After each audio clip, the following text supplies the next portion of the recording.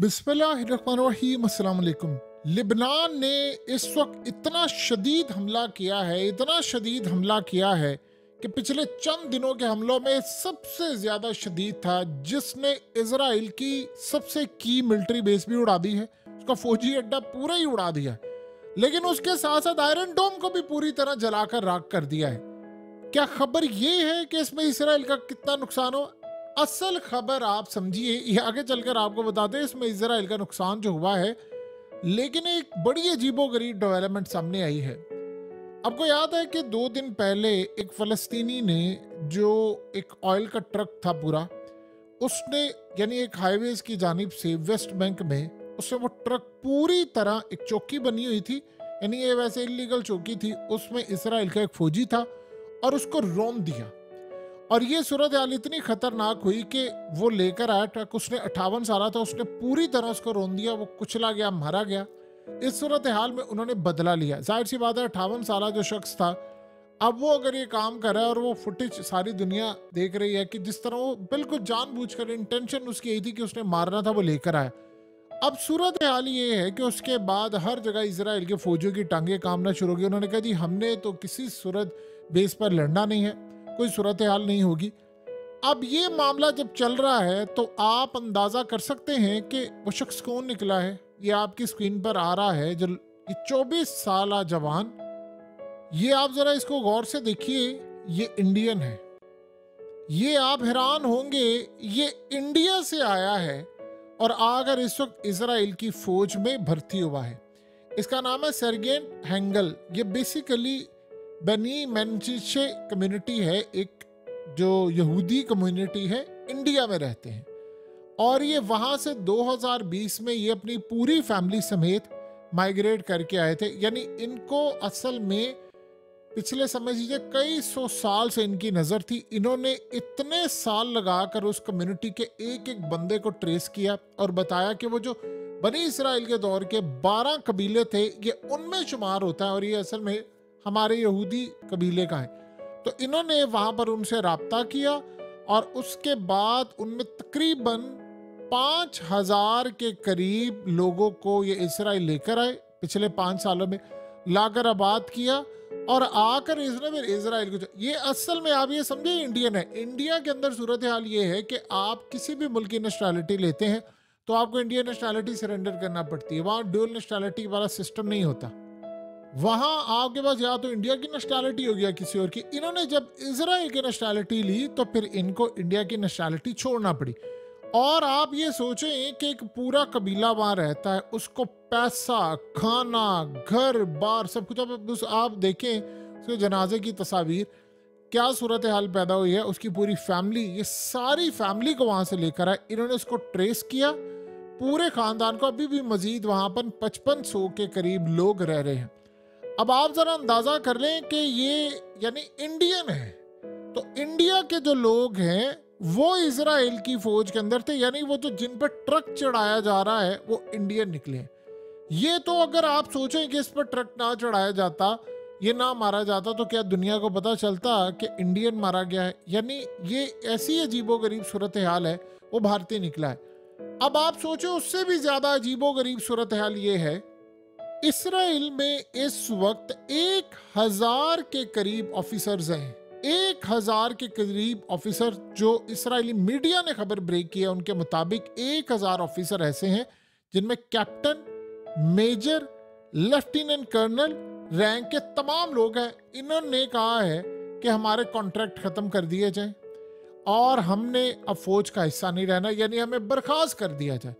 आप अंदाज़ा करें कि अब तेज़ी के साथ इसराइल की फौज के अंदर कैप्टन, मेजर, लेफ्टिनेंट कर्नल, ये तमाम के तमाम जो लोग हैं, उन्होंने फौज से निकलने का फैसला किया। ये कोई छोटी बात नहीं है। इसराइल में इससे बड़ा झटका नहीं लगा कि आप ये सोचें कि एक टाइम ये था। अब आप बताइए कि इंडिया की इस कम्युनिटी का जो लोग हैं, अगर उनको पता होता कि इस तरह की जंग छिड़ जानी है, या हमारे बच्चे इस तरह मारे जाएँगे तो क्या कभी ज़िंदगी में वो इंडिया छोड़कर यहाँ पर आकर आबाद होते? सवाल ही पैदा नहीं होता। अब आप जरा अंदाज़ा कर लें कि इसराइल की फौज में जो लोग हैं, जो कैप्टन है, यानी मेजर है, लेफ्टिनेंट कर्नल है, ये छोटे रैंक के ऑफिसर नहीं होते। यानी आप ये सोचें, इनको बड़ी ड्यूटियाँ दी जाती है। वो कह रहे हैं, हमने अपने फौज का हिस्सा नहीं रहना। अब इस सूरत हाल के अंदर वो फौज से निकलना चाह रहे हैं और कह रहे हैं जी हमें फौज से निकाल दें। यानी उसके बाद हमारा कॉन्ट्रैक्ट भी खत्म करे, हमने पूरी तरह अब निकलना है। अब इतना इंटरनल क्योस पैदा हुआ है, इतना ज़्यादा क्योस पैदा हुआ है, ये आज से पहले इसराइल की तारीख में नहीं हुआ। अभी तो ये इसराइल के मीडिया पर खबरें आ गई हैं। आप ये सोचें कि अभी कितने ऐसे सारे हैं जिनकी खबरें नहीं आ पा रही, जो कह रहे हमने नील इवन के बहुत सारे हैं, वो कह रहे हैं हमने लड़ने के लिए तैयार ही नहीं है। बददिल हो चुके हैं वो। क्योंकि आप एक ऐसी जंग लड़ रहे हैं, जिस जंग का पता ही कुछ नहीं है आपको कि इसका सर पैर क्या है और आपके पास कोई गोल ही नहीं है फाइनल, कि आपने कहाँ तक जाना है। अब ये चीज़ असल में इसराइल को कर रही है होंट एक वक्त था कि वो पूरी दुनिया से लोगों को लेकर आ रहे थे ढूंढ ढूंढ के कि आप हमारे कई हज़ार साल पुराने हो तो आओ यहाँ अगर आकर आबाद हो। अभी भी इस कम्युनिटी के तकरीबन आप ये समझ लें, पाँच हज़ार से ज़्यादा अभी भी लोग हैं जिन्होंने इंडिया से आना है। और उनको भी बुलाकर बसा रहे लेकिन अब जो सूरत हाल पैदा हो गई कि इनके लोग मारे जा रहे हैं तो वो कह रहे हैं कि जी हम क्यों आएँगे?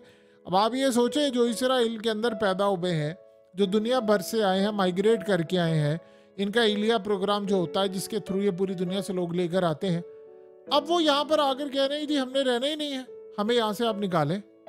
तो जब ये सूरत हाल पैदा होगी तो आप बताइए कि कौन रहेगा?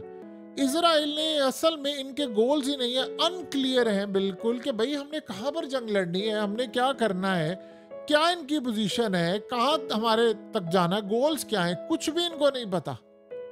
देखिए, इस सारी सूरत हाल में आज सबसे बड़ा जो मरहला ये पैदा हुआ है कि लिबनान ने इन पर जो हमला किया है, वो इतना खतरनाक हमला था, आयरन डोम की बैटरीज उन्होंने उड़ा दी है, राख का ढेर बना दिया है।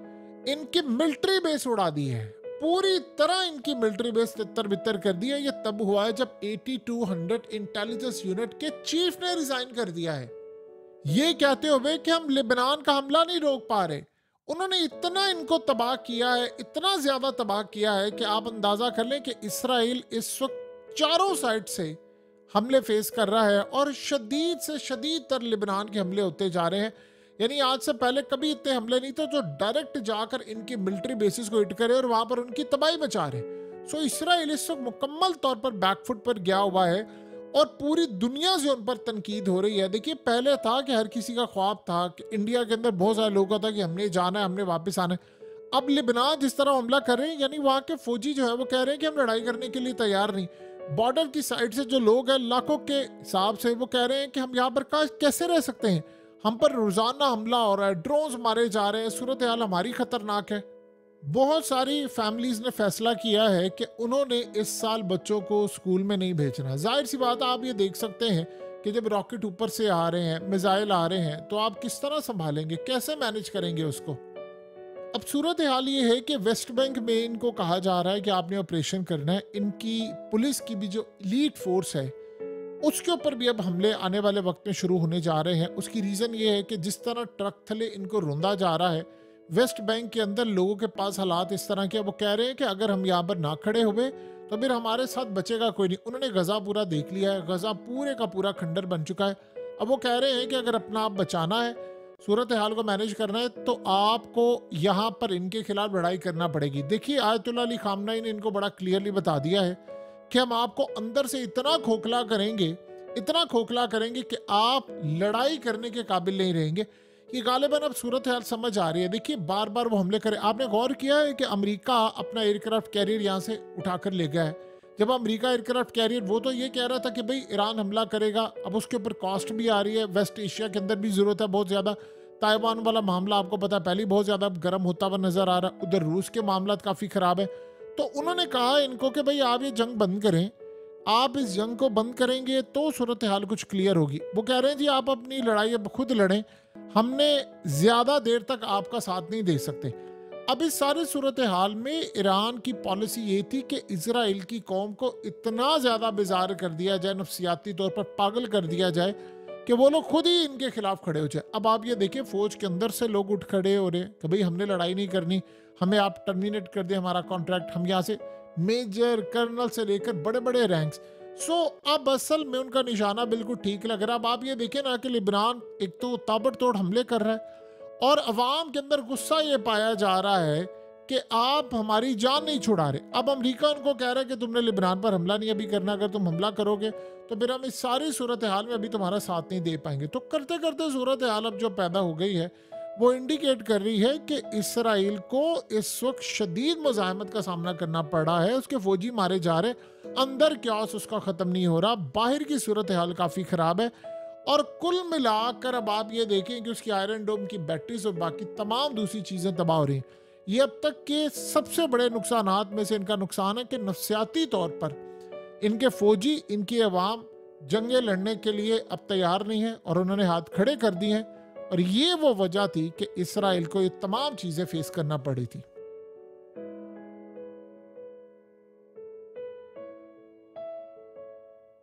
हकीकत टीवी को सब्सक्राइब करना मत भूलें, वीडियो को लाइक करें, शेयर करें। और कमेंट सेक्शन में अपनी राय का इजहार ज़रूर करें।